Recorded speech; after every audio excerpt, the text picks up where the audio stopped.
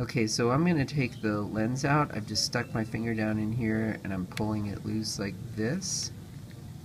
You can see that the lens is is held into position by, there by some clear the zonule fibers.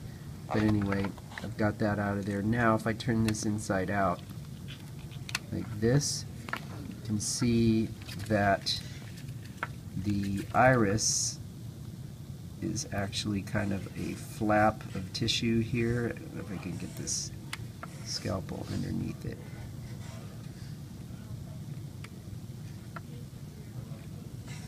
Hmm. Well, that's not working so well. Now there you go.